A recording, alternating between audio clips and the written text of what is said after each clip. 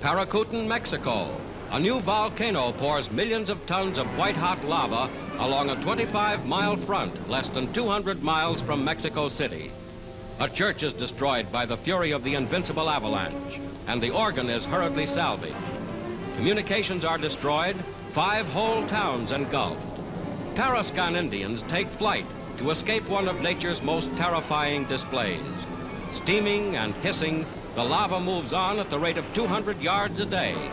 Its temperature, 1,200 to 2,000 degrees.